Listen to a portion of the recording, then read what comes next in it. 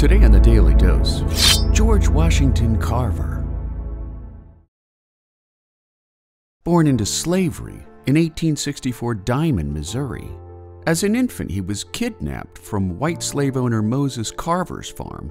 And while George was eventually returned to the farm after being sold in Kentucky, as he grew older, Carver became known as the plant doctor by local farmers due to his knack for improving the health of gardens, fields, and orchards. Rejected from Highland College in Kansas for the color of his skin, in the late 1880s, Carver enrolled in Simpson College, and while he originally planned to study art and piano with the hope of becoming a teacher, Professor Etta Budd encouraged him to apply to Iowa State Agricultural School to study botany. In 1894, Carver became the first African American to earn a Bachelor of Science degree, and due to his research into fungal infections of soybean plants, he was invited into a master's program by his professors, where he worked under famed mycologist Louis H. Pammel, further sharpening his ability to identify and treat plant diseases.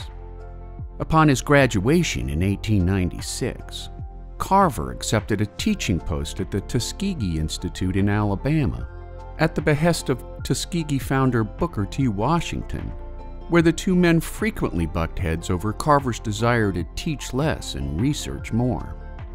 After Washington passed away in 1915, Carver would get his way when succeeding President Robert Russa Moton took office, allowing Carver to focus primarily on research. Through his work in soil chemistry, Carver discovered that repeated cotton crops reduced harvest yields due to the depletion of nutrients from soil. Carver then experimented with his concept of crop rotation, proving that growing nitrogen fixing plants such as peanuts, soybeans, or sweet potatoes increased harvest yield when fields were later reverted to cotton crops. Carver reached national celebrity status as well as the nickname the Peanut Man, due to his development of more than 300 food, industrial, and commercial products from peanuts, including milk, Worcestershire sauce, cooking oils, cosmetics, and peanut based medicines, such as antiseptics and laxatives. In 1921, Carver impressed the House Ways and Means Committee when he spoke on behalf of the peanut industry, receiving a standing ovation followed by the passage of high tariff protections for American peanut growers. In his later years, Carver traveled the South promoting racial harmony, as well as a meeting in India with Mahatma Gandhi to discuss nutrition and the management of plant diseases.